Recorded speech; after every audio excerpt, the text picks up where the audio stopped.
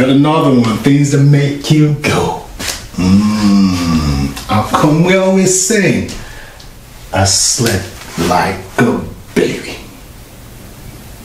If you got babies, if you anywhere around babies, we know babies ain't sleeping.